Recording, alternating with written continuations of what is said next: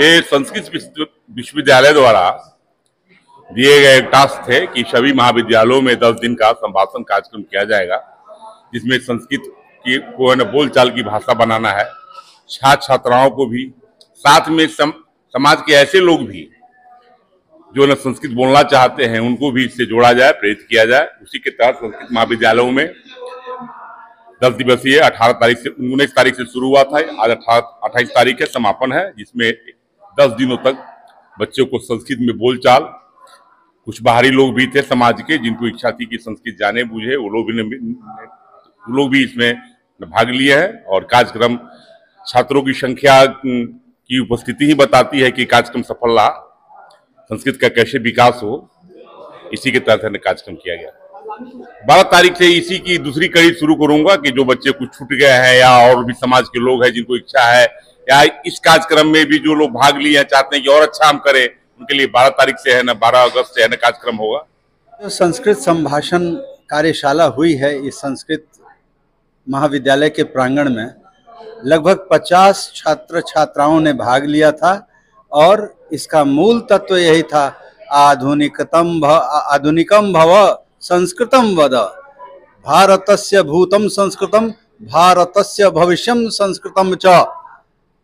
ये भारत की पहचान है, जो विश्व भर में हम लोग जाने जाते हैं, संस्कृत संस्कृत का साहित्य भंडार, ज्ञान भंडार, और जो श्रेष्ठ संस्कारों की भाषा है, वैज्ञानिक रूप से परिष्कृत है, और जितने भी काव्य रचनाएँ की गई है, आदि काव्य वाल्मीकि रामायण से लेकर के अभी तक, ये सब अपने आप में सर्वोत्तम कृतियाँ हैं। और संस्कृत महाविद्यालय में बच्चों को भाषा की ज्ञान के लिए ज्ञान रहते हुए भी लोग संस्कृत नहीं बोल पाते हैं तो उनके संस्कृत बोलने में प्रवाह आ जाए।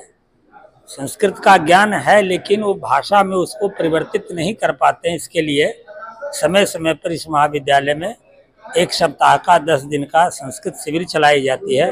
इस शिविर में बच्चों को सरल माध्यम से संस्कृत सिखाने का संस्कृते अस्य कार्यक्रमस्य एकमात्र समस्ति जने जने गृहे गृहे संस्कृत भाषा भवेत्। विश्व कल्याणाय संस्कृत भाषायाः अध्ययनं परमम् आवश्यकम्। संस्कृतं विना जीवनं व्यर्थम्। अतएव संपूर्ण जनानां कृते संस्कृत वदनं परमम् आवश्यकम्। मम नाम डॉक्टर मुकेश कुमार ओझा अस्ति। अहम बिहार संस्कृत संजीवन समाजस्य महासचिवः। सम्प्रति निरन्तरम् आधुनिको भव संस्कृतं वद अभियान द्वारेण निरन्तरं शिबिरं चलति। प्रतिमासे एकादश दिनांक तह एक एकविंशति दिनांक अन्तर्जालीय अपि शिबिरम् आयोजनं भवति। अनन्या। आ, मैं छपरा से आई हूँ। हाँ जी हम इसी कॉलेज में पढ़ते हैं ना। हमारा कॉलेज का नाम है राजकीय संस्कृत महाविद्यालय। और अभी ये जो संगोष्ठी चली है, ये 19 तारीख से 28 तारीख तक चली और आज इसका समाप्ति हुआ है। और हमें इस संगोष्ठी से बहुत सारी सुविधाएँ मिली। हम अपनी संस्कृत भाषा के बारे में जाने और इसका आगे हमारे जीवन में क्या उपयोग है, ये हम जाने। आज से पहले हम ये चीज़ उतना नहीं समझ पाते थे कि संस्कृत हमारे जीवन में क्या महत्व रखता है। पर हमारे गुरु और आचार्य की कृपा से हम ये चीज़ जान सकें।